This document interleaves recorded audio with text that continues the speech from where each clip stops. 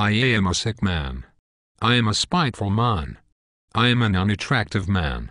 I believe my liver is diseased. However, I know nothing at all about my disease, and do not know for certain what ails me.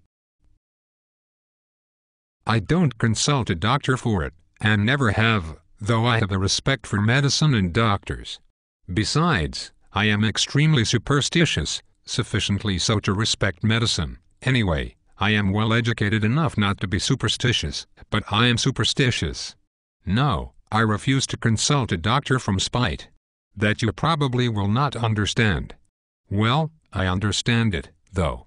Of course, I can't explain who it is precisely that I am mortifying in this case by my spite. I am perfectly well aware that I cannot pay out the doctors by not consulting them. I know better than anyone that by all this I am only injuring myself and no one else. But still, if I don't consult a doctor it is from spite. My liver is bad, well, let it get worse.